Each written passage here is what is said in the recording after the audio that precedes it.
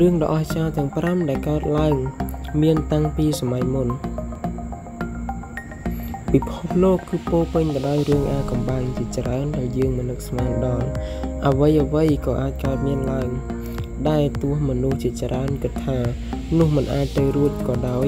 ក៏វានៅតែអាចកើតមានឡើងផងដែរហើយកង្ក្រមនេះគឺជាហេតុការណ៍ដ៏អស្ចារ្យដែលកើតមានឡើងកាលពីសម័យមុន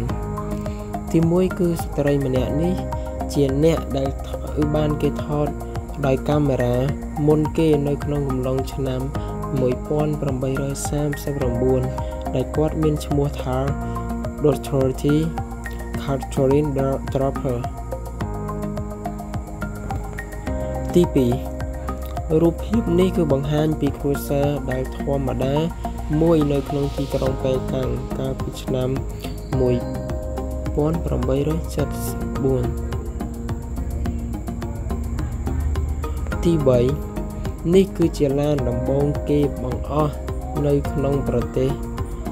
Coromino នៅឆ្នាំ1905ទី4នៅឆ្នាំ1923បរោះពីររូបកំពុងពាក់អាវការពារគ្រាប់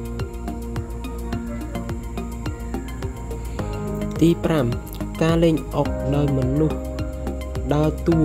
ជាគ្រាប់អុកនៅប្រទេសរុស្ស៊ី